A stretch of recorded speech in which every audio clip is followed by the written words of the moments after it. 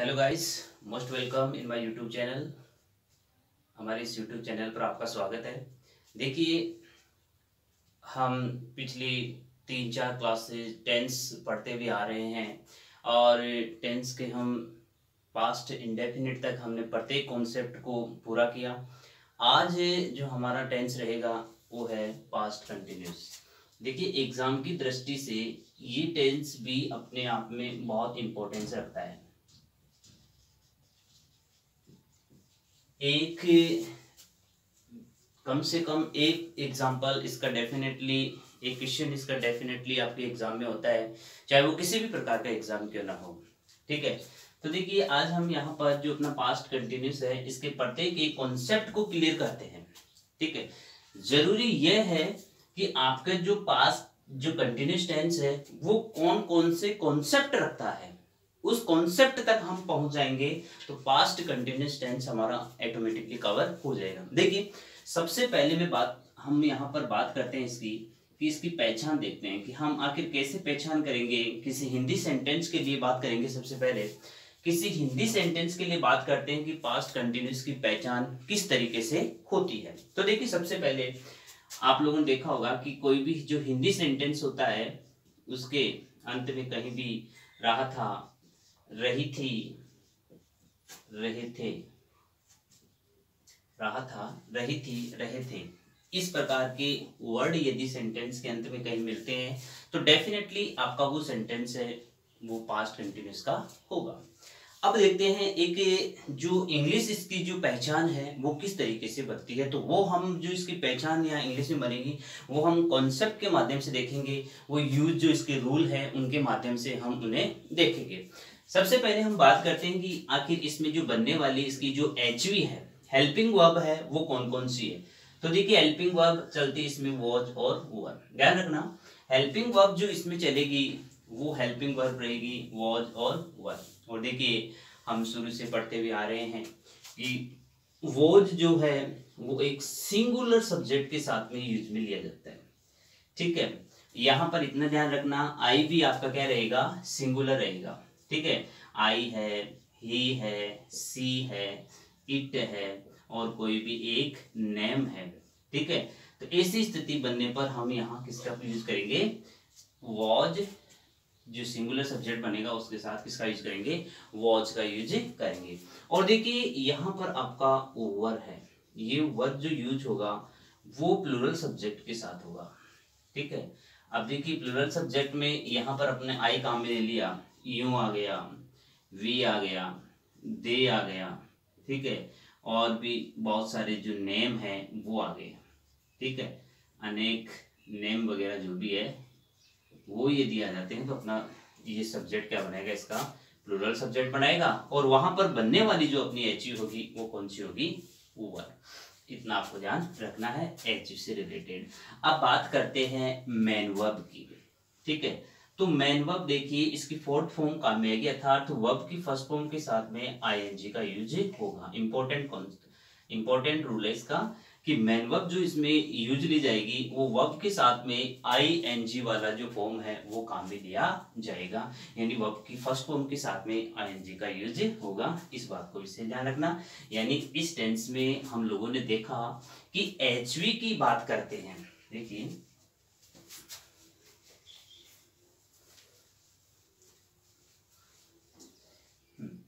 इस टेंस में हम लोगों ने देखा कि एच वी तो यहाँ पर यूज़ ली जाएगी वॉज़ और ओवर एम वी की बात करते हैं मैनवर्ब की बात करते हैं तो मैनवर्ब जो है यहाँ पर काम में ली जाएगी वर्ब के साथ में आई एच ठीक है? इन दो जो बात है, इन बातों को ध्यान रखना। ठीक है? अच्छा जी, अब आगे चलते हैं हम लोग एक सेंटेंस के स्ट्रक्चर के ऊपर। तो पहले में प्रत्येक जो सेंटेंस का जो स्ट्रक्चर है इसमें, चाहे वो एफिमेटिव हो, चाहे वो नेगेटिव हो, चाहे वो इंटरगेटिव हो, चाहे वो इंटरनेगेटिव हो, ठीक है? उनको ऑलरेडी मैं यहाँ पर क्लियर कर देता हूँ। तो सबसे पहले देखिए, अपन एक सिंपल जो अपना सेंटेंस रहेगा, उस सिंपल सेंटेंस की बात करते हैं, ठीक है? अभी फ़िलहाल जो है सिंपल सेंटेंस की बात करते हैं, फिर इसके कॉन्सेप्ट करेंगे, फिर बाकी जो नेगेटिव इंट्रोगेटिव वो बनेंगे, वो बाद में लिखेंगे। ठीक है? देखिए, यहाँ पर सब्जेक्ट हो गया आपका। सबसे पहले एफिमेटिव सेंटेंस जो रहेगा आपका, उसमें सब्जेक्ट आता है। उसके बाद में सॉरी उसके बाद में हेल्प जो हेल्पिंग वर्ब यहाँ पर दे रखी है वॉज़ वर उनमें से कोई एक आएगी तो सब्जेक्ट से पता चल जाएगा, वो सिंगुलर है या प्लूरल है। ठीक है? उसके बाद में मैन वर्ब आएगी आपके, जिसमें आई वर्ब के साथ में आईएनजी का यूज़ किया जाएगा। उसके बाद आपका ऑब्जेक्ट आएगा और उसके बाद में अदर वर्ड का यूज़ होगा। ये आपका सेंटेंस स्ट्रक्चर काम में लिया जाएगा। यानी आपका जो सेंटेंस स्ट्रक्चर है इन एफर्मेटिव सेंटेंस उसमें ये रहेगा। ये आपके एफर्मेटिव सेंटेंस का स्ट्रक्चर है। ठीक है? अब देखिए, हम बात करते हैं इसी का, हम नेगेटिव पार्ट्स ले लेते हैं। ठीक है, देखिए नेगेटिव सेंटेंस में क्या होता है? बात को समझना। नेगेटिव सेंटेंस में क्या होता है? जैसे मैंने यहाँ पर आपको बहुत बार शुरू से मैंने समझाता आ रहा हूँ अब तक इस टेंस में, कि जब भी नेगेटिव सेंटेंस होता है और उसमें आपको जो वो, जो सॉरी उसमें जो नोट लगाना होता है, वो एच के बाद में आप नोट लगा दीजिए। यानी नेगेटिव सेंटेंस में इतना ध्यान रखना जो आपका नॉट यहाँ पर लगेगा, वो एच वी के बाद में आएगा। यानी वॉजवर प्लस नॉट फिर आगे उसके बाद में मैन वर्ब के साथ में आई एन जी आएगा, फिर ऑब्जेक्ट आएगा और फिर आपका अदर वर्ड आएगा। इस तरीके से आपका ये नेगेटिव जो कॉन्सेप्ट है, वो क्लियर होगा। सॉरी नेगेटिव जो स्ट्रक्चर है, वो आपका इस तरीके से बनेगा। अब देखते हैं इसका इंट्रोगेटिव और इंट्रो जो नेगेटिव है, वो स्ट्रक्चर भी इसका भी देख लेते हैं। उसके बाद में इसके कॉन्सेप्ट को क्लियर करते हैं। ठीक है? देखिए इंट्रोगेटिव जो आपका यहाँ पर इसका जो पार्ट रहेगा, वो कुछ इस तरीके से है। देखिए, हमेशा ध्यान रखना, इसको टू टाइप से हम बनाते हैं। यहाँ पर सबसे पहले इसकी एच वी देते हैं, जो एच वी है वॉज़ और वर उसके बाद में यहाँ पर सब्जेक्ट लिखा जाएगा। उसके बाद में आपके मैन वर्ब के साथ में आईएनजी आएगा। उसके बाद ऑब्जेक्ट आएगा। उसके बाद अदर वर्ड और यहाँ पर आपको क्वेश्चन मार्क देना होगा। ये था आपका इसका फ़र्स्ट सेकेंड की बात करते हैं इसी में। इसमें सेकेंड जो रहेगा, उसमें कोई भी डब्ल्यू एच वर्ड आ सकता है। वैन है वाई है, ठीक है? कोई भी डब्ल्यू एच बढ़ा सकता है। उसके बाद में यहाँ पर आपका वोजवर आएगा, उसके बाद आपका सब्जेक्ट रहेगा, उसके बाद मैन वर्ब के साथ आईएनजी आएगी, उसके बाद ऑब्जेक्ट आएगा, उसके बाद अदर वर्ड आएगा और उसके बाद क्वेश्चन मार्क आएगा। तो एक बार वापस देख लीजिए, यहाँ इंट्रोगेटिव जो सेंटेंस होगा, वो डेफिनेटली यहाँ पर क्वेश्चन मार्क लगाएगा। इतना विशेष ध्यान रखना कि यहाँ सेंटेंस के अंत में क्वेश्चन मार्क चिन्ह डेफिनेटली लगेगा। ठीक है? तो ध्यान दे, यहाँ पर आपको पहले एच से सेंटेंस शुरू करना होगा। जब पहले यहाँ ब्लैंक्स दे दिया जाता है, रिक्त स्थान दे दिया जाता है तो यहाँ पर आपको वॉजर में से कोई भी जो है, दोनों में से एक सब्जेक्ट सिंगुलर है तो वॉज़ और सब्जेक्ट प्लूरल है तो वर इन दोनों में से एक का यूज़ करना होगा। अब बात करते हैं इसकी। भाई, इसमें तो क्या है? डब्ल्यू एच वर्ड में तो ऑलरेडी डब्ल्यू एच वर्ड दिया हुआ रहता है। कंफर्म डब्ल्यू एच वर्ड में तो ऑलरेडी डब्ल्यू एच वर्ड दिया हुआ रहता है। आपको बस डब्ल्यू एच वर्ड के बाद में इसको यूज़ करना रहता है। और यहाँ पर जो मेन वर्ब है सब्जेक्ट के बाद में, वो आपको यूज़ करनी होगी। और इसके अलावा आपको कुछ भी नहीं करना होगा। अब देखते हैं, यहाँ पर इसके आगे का जो सेंटेंस है, वो रहेगा इंटेरोनेगेटिव बात को समझना। ये स्ट्रक्चर मैंने एक साथ बताने का इसलिए सोचा कि यहाँ पर यदि मैं सेंटेंस एक साथ बताऊँगा तो कम से कम आपके सेंटेंस जो स्ट्रक्चर है, जो प्रत्येक सेंटेंस का बनता है, वो तो कम से कम आपके समझ में आ जाए। फिर कॉन्सेप्ट से हम लोग अलग अलग इनका एक्सरसाइज करेंगे। ठीक है? देखते हैं इंटू नेगेटिव जो पार्ट है, उसमें क्या रहेगा? फ़र्स्ट इसका जो सेंटेंस रहेगा पार्ट रहेगा, वो डेफिनेटली इसी के अकॉर्डिंग चलेगा। बस एक नोट जो है, वो आपका आएगा। तो वो रहेगा, उसके बाद में सब्जेक्ट रहेगा। स्टूडेंट जो सबसे ज़्यादा गलती करता है गाइस जो सबसे ज़्यादा गलती करते हो, वो यही है कि आप यहाँ पर नोट को गलत स्थान के ऊपर यूज़ में ले लेते हैं और सेंटेंस आपका गलत हो जाता है। तो ध्यान रखना, यहाँ पर जो आपका नोट आएगा, वो डेफिनेटली सब्जेक्ट के बाद में यूज़ में लिया जाएगा।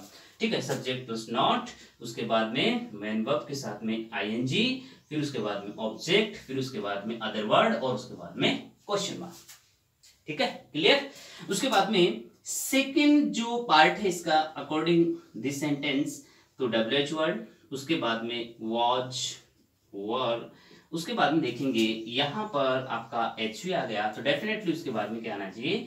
सब्जेक्ट आएगा, उसके बाद में नोट आएगा, उसके बाद मैन वर्ब के साथ आईएनजी आएगा ऑब्जेक्ट आएगा अदर वर्ड आएगा और क्वेश्चन मार्क चिन्ह आएगा।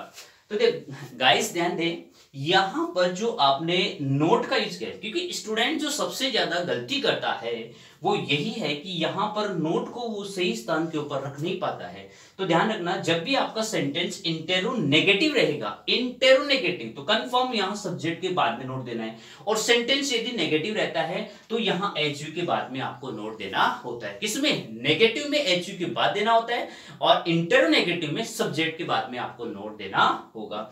यह था इसके प्रत्येक एक पार्ट के एफर्मेटिव नेगेटिव इंटरोगेटिव इंटरनेगेटिव के स्ट्रक्चर ठीक है सेंटेंस स्ट्रक्चर अब देखते हैं इसके प्रत्येक के कॉन्सेप्ट को कि कौन कौन से कॉन्सेप्ट आए, तब हम वहाँ पर अपना पास्ट जो कंटिन्यूस टेंस है, वो यूज़ में ले। तो देखिए, सबसे पहला कॉन्सेप्ट देखते हैं इसका।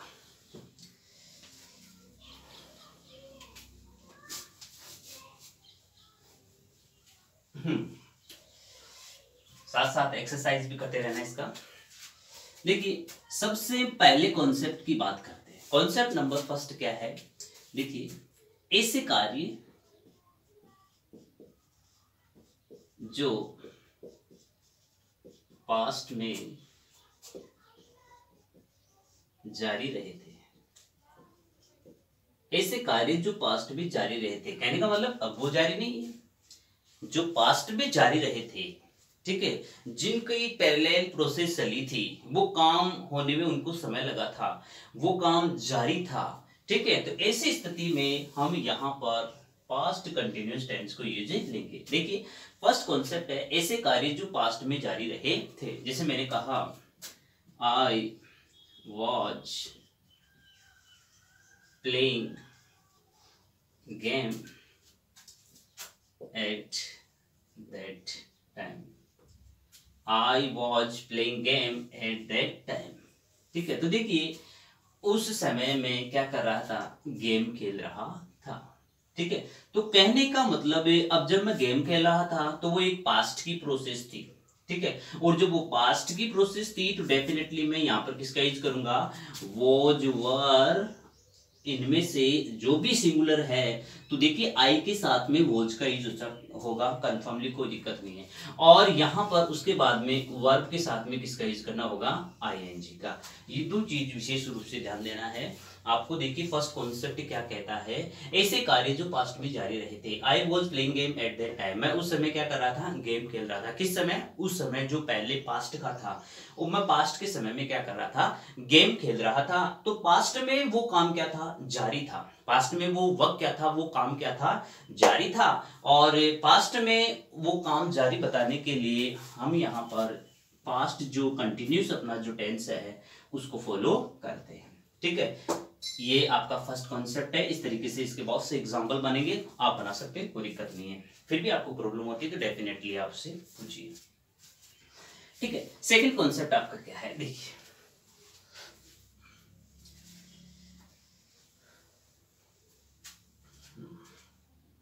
देखिए, तीन वर्ड याद रखना। कॉन्सेप्ट नंबर टू देखिए, तीन वर्ड याद रखना। गेट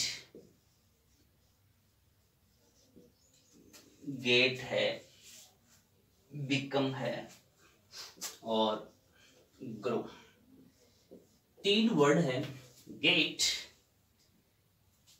बिकम और ग्रो देखिए पास्ट में, ध्यान से सुना पास्ट में उत्तरोत्तर कंटिन्यूसली वृद्धि इंक्रीज हास डिक्रीज बात को समझना। पास्ट में उत्तरोत्तर वृद्धि और हास के लिए के लिए पास्ट कंटिन्यूस टेंस को यूज़ में लिया जाता है। पास्ट कंटिन्यूस का यूज़ करते हैं। बात को समझना। पास्ट में उत्तरोत्तर वृद्धि। इंक्रीज हास डिक्रीज के लिए पास्ट कंटिन्यूस टेंस का यूज़ करते एग्ज़ाम्पल की बात करते हैं। देखिए इसमें कंपेरेटिव कंपेरेटिव को भी यूज़ में लेंगे। जो अपनी कंपेरेटिव डिग्री है, उसको भी हम यहाँ पर फॉलो करेंगे। तो देखिए he was becoming poorer and poorer example को देखिए। क्या कह रहा है? कॉन्सेप्ट को पहले तो समझना।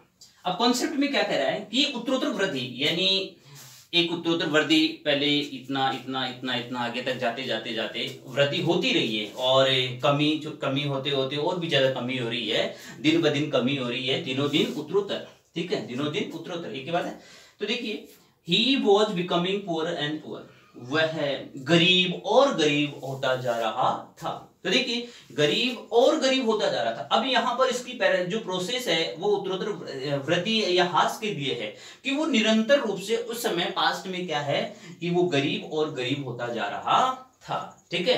तो इस कॉन्सेप्ट को थोड़ा ध्यान से समझना कि पास्ट में कोई भी उत्तरोत्तर वृद्धि दिनों दिन वृद्धि या हास के लिए भी हम पास्ट कंटिन्यूस टेंस को यूज़ में लेते हैं। देखिए, यहाँ पर मैंने ही के साथ वोज का यूज़ किया क्योंकि ये सिंगुलर था और मेन वर्ब मैंने यहाँ पर ये वर्ब बता दी।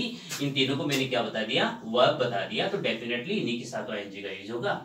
तो इन्हीं के साथ में आईएनजी का यूज़ होगा। कंफर्म इस बात को विशेष ध्यान रखना, ठीक है? अब देखिए एग्ज़ाम में पूछे जाने वाला कॉन्सेप्ट सबसे इंपॉर्टेंट कॉन्सेप्ट इस बात को विशेष ध्यान रखना, ये जो है क्वेश्चन इसमें से एक डेफिनेटली एग्ज़ाम में पूछा जाता है। इस बात को थोड़ा सा माइंड में सेट रखना।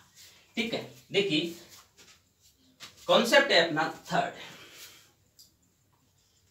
थर्ड कॉन्सेप्ट है। ठीक है? देखिए, मैंने लिखा है यहाँ पर एक बात को समझना। इंटरप्टिंग एक्शन और पहला इसमें ये लिखा, दूसरा लिखा मैंने इसमें इंटरप्टेड एक्शन देखिए, इन दोनों को देखना एक बार। ये तो क्या है बाधित करने वाला काम। बाधित करने वाला कार्य। और ये क्या है बाधित होने वाला कार्य। बात को समझना। देखिए इंटरप्टिंग एक्शन बाधित करने वाला कार्य और दूसरा में लिखा इंटरप्टेड एक्शन बाधित होने वाला कार्य।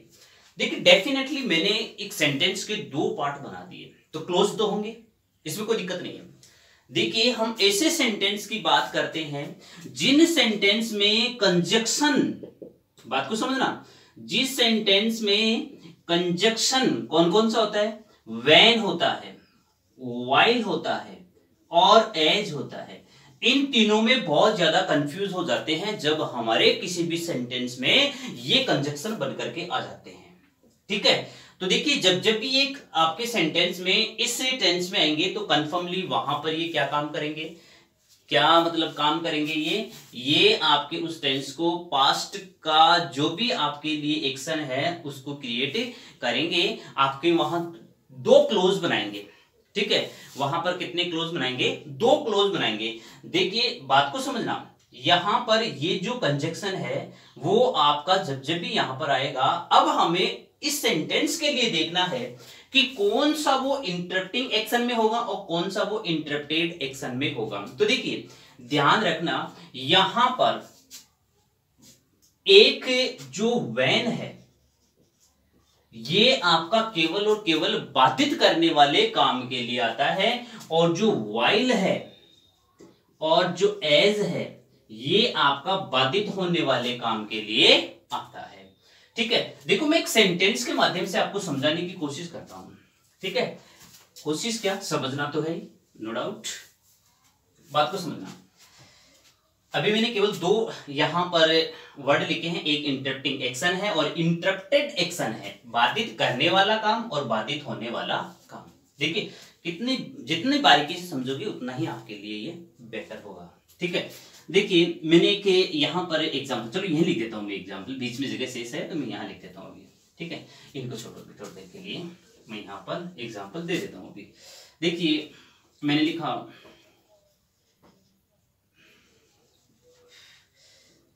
आई वॉच या देखिए, कोई भी ले लीजिए सेंटेंस किसी प्रकार का।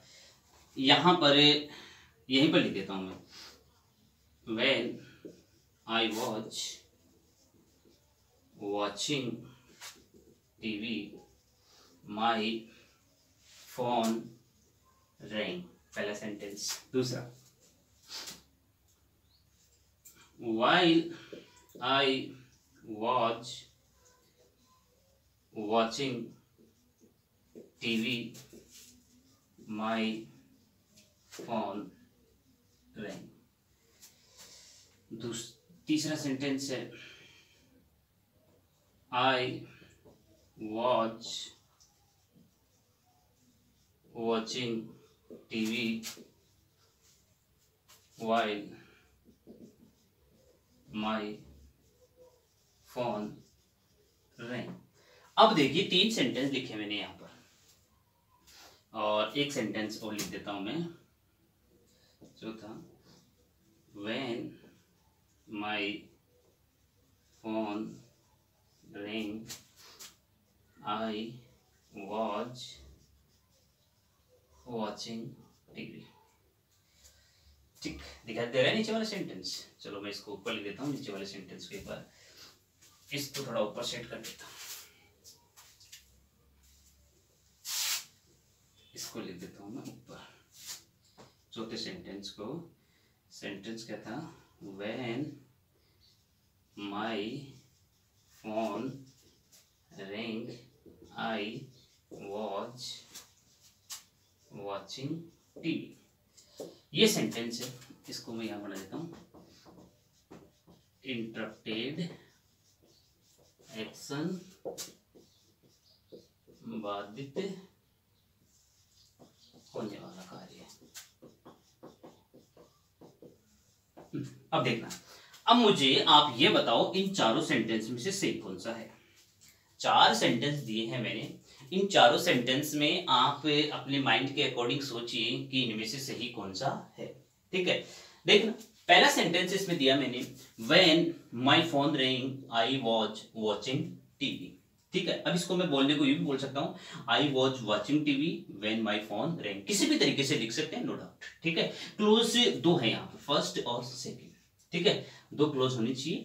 फिर है उसके बाद में when I was watching TV my phone ring ठीक है? While I watch watching TV my phone ring ठीक है? फिर उसके बाद में I watch watching TV while my phone ring इनमें से कौन कौन से सेंटेंस सही है और कौन से सेंटेंस गलत है? चलो मैं थोड़ी देर के लिए इन सेंटेंस को भी यहीं छोड़ देता हूँ। पहले इन दो की कहानी को सोल्व आउट कर लेते हैं। ठीक है? देखिए, इन दो की कहानी क्या है? ये कह रहा है इंटरप्टिंग एक्शन यानी बाधित करने वाला काम। ठीक है? ध्यान से सुनना। बातित करने वाले उस काम में वैन ही आएगा वैन के बाद आपका बाधित करने वाला काम आएगा और वो काम हमेशा आपका सिंपल पास्ट में ही रहेगा। बात को समझना? यानी जब जब भी आप वैन का यूज़ करते हो इस प्रकार के क्लोज में तो वहाँ पर वैन के बाद आपको पास, सिंपल पास्ट सेंटेंस ही आपको देना है, लिखना है वैन के बाद। ठीक है? अब देखते हैं दूसरे एक्शन की बात करते हैं। दूसरे एक्शन में है कि जब भी आपके वाइल और एज आएगा तो इसके साथ में आपको कंटिन्यूस देना होगा। इसके साथ क्या देना होगा आपको?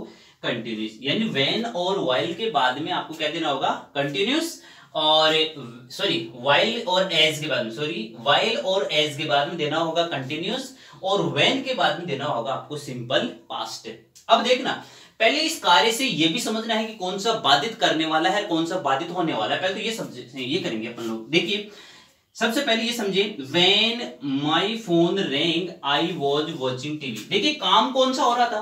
काम कौन सा हो रहा था? टीवी देखने का। अब बाधित किसने किया? जब मैं टीवी देख रहा था तो मेरा फ़ोन आया। तो मैं बाधित हुआ। तो बाधित करने वाला काम कौन सा हुआ? मोबाइल फ़ोन जो रेंग किया वो। तो देखिए, बाधित करने वाला काम वैन के साथ में सिंपल पास्ट लगेगा। तो देखिए देखिए, वैन के साथ में सिंपल पास्ट यानी वी टू का यूज़ हो रहा है, कोई दिक्कत नहीं रेंग यानी सेंटेंस आपका क्लियर है। और एक बात ध्यान से सुनना, वैन और वाइल और एज, ये सभी एक साथ नहीं रहेंगे, यानी वैन और वाइल कभी एक साथ नहीं आएगा। इस बात का विशेष ध्यान रखना। वेन वाइल कभी भी एक साथ, दो एक साथ, यानी दोनों सेंटेंस में नहीं हो सकते। इस बात का विशेष ध्यान रखना। तो ये सेंटेंस आपका क्या हुआ? क्लियर हुआ। अब दूसरे सेंटेंस की बात करते हैं। When I was watching TV my phone ring देखिए वेन वेन के बाद में क्या आना चाहिए? सिंपल पास्ट वाला। तो वेन के बाद में आ गया कंटिन्यूस वाला। तो सेंटेंस क्या हुआ? आपका ये रॉन्ग ठीक है सेंटेंस क्या हो गया ये? रॉन्ग ये सेंटेंस आपका गलत है। उसके बाद देखते हैं when I was watching TV my phone ring अब देखिए sorry while I was watching TV my mobile phone ring तो देखिए वाइल के बाद में क्या आ गया? कंटिन्यूस तो देखिए डेफिनेटली वाइल के बाद में क्या आना चाहिए? कंटिन्यूस आएगा, कोई दिक्कत वाली बात नहीं है। तो यहाँ पर हम किसका यूज़ करेंगे? किसका यूज़ करेंगे? कंटिन्यूस का जो कंटिन्यूस टेंस हो रहा है यहाँ पर, और उसके बाद में सिंपल पास्ट आपका बाधित करने वाला काम ये हो ही रहा है। तो इस स्थिति में हम ये आप सेंटेंस भी आपका सही होगा। ठीक है? भाई जब मैं या उस दौरान जब मैं टीवी देख रहा था, मेरा मोबाइल फ़ोन बजा। तो देखिए, ये मोबाइल फ़ोन बजा तो डेफिनेटली काम जो हो रहा था कौन सा टीवी देखने का, उसमें क्या क्या इसने बाधा डाली? तो बाधित करने वाला काम ये हुआ और बाधित होने वाला काम ये हुआ। ठीक है? उसके बाद देखिए I was watching TV while my phone ring तो देखिए वाइल के बाद में क्या आना चाहिए? कंटिन्यूस आना चाहिए। जो कि यहाँ क्या रखा है पास सिंपल आ रहा है तो ये भी आपका गलत है। तो सेंटेंस कौन सा सही हुआ? आपका चौथा और दूसरा सेंटेंस सही है, बाकी वो सभी सेंटेंस आपके गलत हैं। ठीक है? इस तरीके से आपको सेंटेंस देखना है। स्क्रीनशॉट ले लीजिए आप इसका। ठीक है?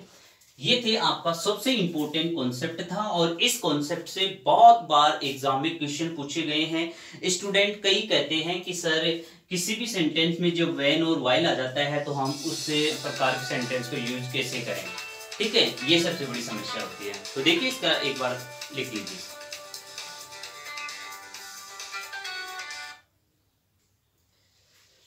हम्म देखिए नेक्स्ट जो अपना कॉन्सेप्ट है, वो क्या है?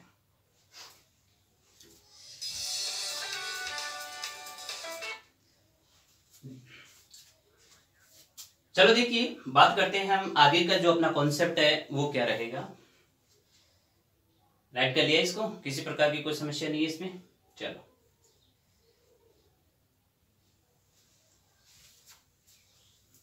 अब देखते हैं। एच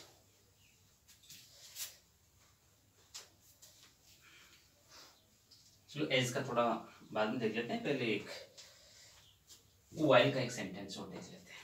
ठीक है, देखिए। चलो पहले एच का ही कवर करते हैं। एच एच क्या कहता है?